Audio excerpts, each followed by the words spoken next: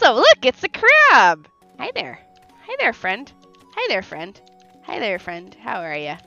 It'd be a shame if somebody beat you up.